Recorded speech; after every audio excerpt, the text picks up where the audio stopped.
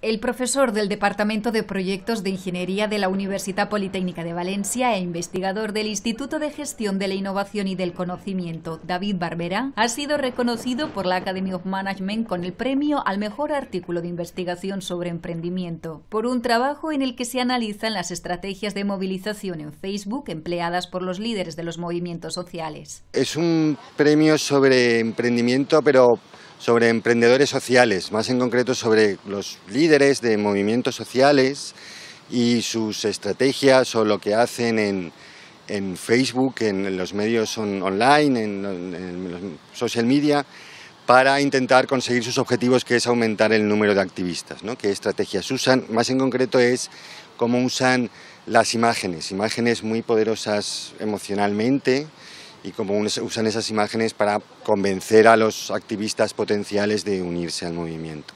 El artículo, fruto de casi cinco años de trabajo, ha sido escrito en colaboración con la profesora de la Universidad Carlos III de Madrid, Itziar Castelló. Llevamos trabajando en esto, pues va a ser dentro de poco cinco años. Todo esto em-, empezó en un viaje a Estados Unidos que hicimos. Este es un movimiento medioambientalista eh, norteamericano donde, en el que se centra el trabajo y empezó pues cuando nos fuimos cinco años a California a una estancia de investigación. Allí empezó todo, o sea que llevamos mucho tiempo trabajando en esto y estamos muy contentos de este reconocimiento que nos da nos impulsa a seguir. Es la primera ocasión que un artículo de investigación presentado por académicos españoles obtiene el premio que otorga la ONT Division de la Academy of Management. La Academy of Management es una asociación internacional, pero está sobre todo centrada en Estados Unidos. Casi todo el mundo, o hay muchos de los premios son otorgados a, universidades americanas, ¿no? Y se ven pocas universidades europeas y españolas. Y, y bueno, estamos contentos, claro, por eso también.